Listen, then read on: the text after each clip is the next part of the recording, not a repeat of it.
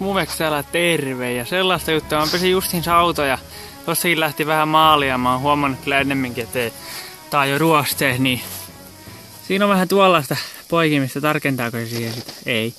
Niin tuota, tämän pitäisi tosta hioa ja, tai kunnollahan se kuuluu sitten hinkata, mutta mä oon varma, että jollakin hioa vaan hiomapaperilla kauan aikaa hinkata aukaisee peräloora ja niin edelleen tuohon vetää maalit päälle. Mutta sitten mä kysyisin, tietääkö kukaan missä tämän väristä maalia saa?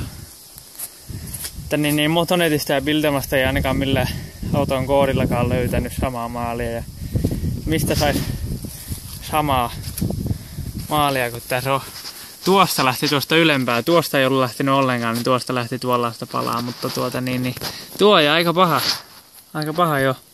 Kyllä tuonkin saa hoidettua, mutta siihen on edellinen omistaja vetänyt päällekin maali ja näkyykin, että vähän erilaista ei ole hiottu mitenkään laitettu päälle, vaan joo, ei mulla.